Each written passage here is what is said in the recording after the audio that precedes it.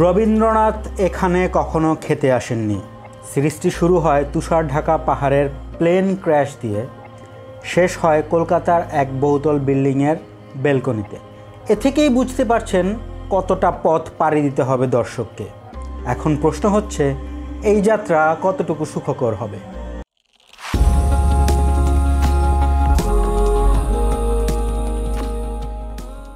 সিরিজের গল্প ভারত বাংলাদেশের বর্ডার ঘেঁষে সুন্দরপুর নামে এক জায়গায় রবীন্দ্রনাথ এখানে কখনো খেতে আসেনি নামের রেস্টুরেন্ট ও তার মালকিন মুস্কান জুবেরিকে ঘিরে। কলকাতা থেকে সাংবাদিক অনুপম চন্দ আসেন রেস্টুরেন্ট ও তার অসাধারণ রেসিপি নিয়ে আর্টিকেল লিখতে।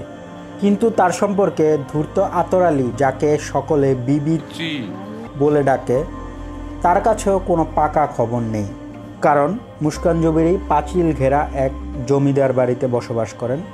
আর ঘর জুড়ে হেঁটে বেড়ান ও রবীন্দ্রসঙ্গীত গান। আমারে যে জাগতে হবে।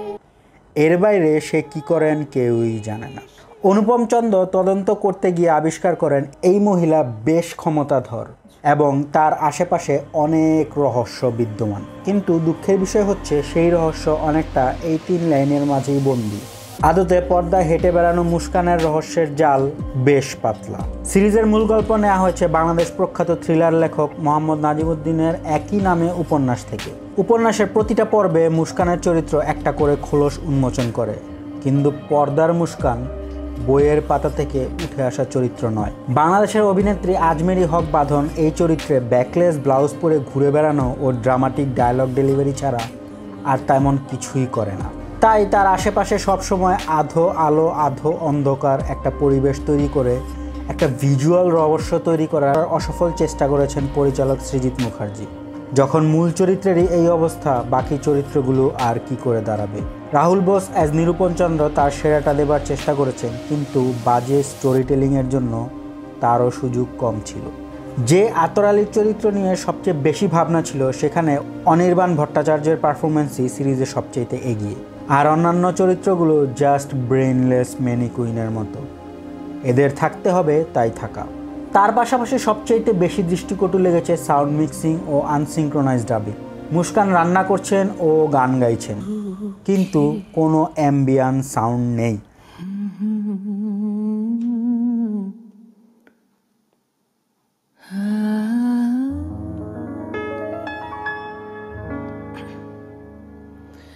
যার কারণে দৃশ্যগুলোকে মনে হচ্ছে ভাষা ভাষা।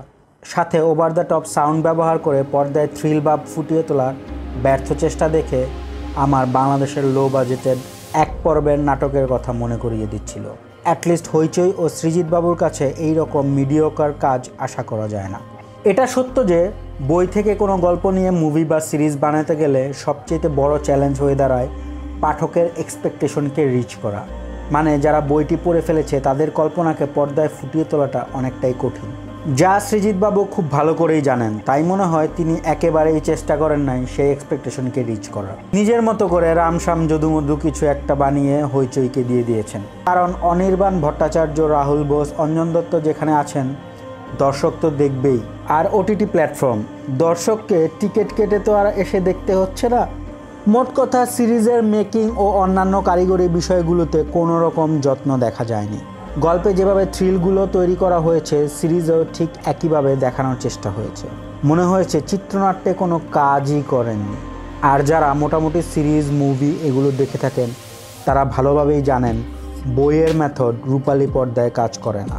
এখন সত্যজিৎ বাবুর লেখা গল্প ও সিনেমা একই ধরনের হতো, কারণ তিনি একাধারে লেখক এবং ফিল্ম মেকার তাই তিনি বইয়ের মধ্যে গল্প যেভাবে লিখতেন, চিত্রনাট্যের গঠনও সে একইভাবে করতে পারতেন।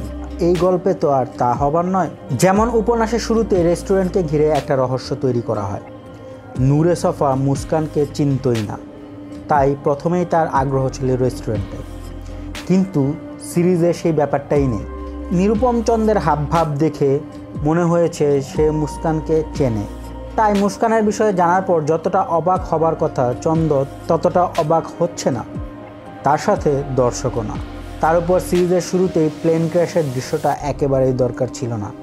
এটা বইয়ে অনেক বড় একটা সারপ্রাইজিং এলিমেন্ট ছিল। সব মিলিয়ে সিরিজটি দর্শককে তৃপ্ত করবে না। আর যারা উপন্যাসটি পড়েছেন, তারা বেজায় হতাশ হবে। বাকিটা আপনারা দেখে থাকলে কেমন লেগেছে তা কমেন্টে জানান। আর আমার এই রিভিউটি যদি ভালো লাগে সাবস্ক্রাইব করুন ও শেয়ার করুন। দেখা হবে পরবর্তী ভিডিওতে। একটা কথা মনে রাখবেন। আমার যা কিছু আছে, তা কিন্তু সবই আপনার।